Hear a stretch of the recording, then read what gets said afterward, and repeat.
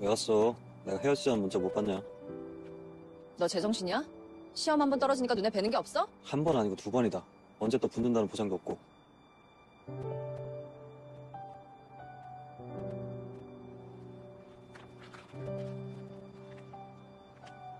봐.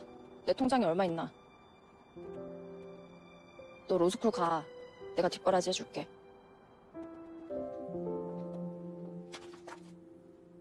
웬 보험?